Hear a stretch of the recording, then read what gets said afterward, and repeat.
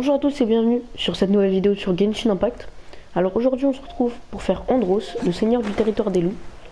Euh, donc, euh, dites-moi si ça vous intéresserait euh, que je fasse un guide free-to-play pour chacun des boss. là je vais faire en, en, pay-to-play. Mais dites-moi si ça vous intéresserait un guide, un guide free-to-play. Voilà.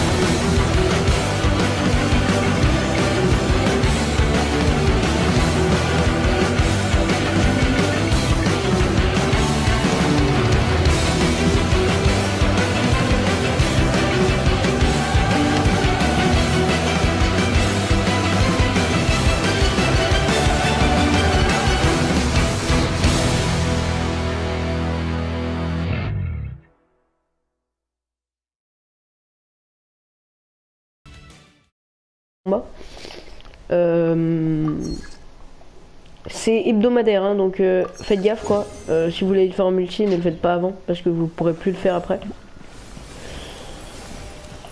Bon, tant qu'on y est, autant prendre les moras.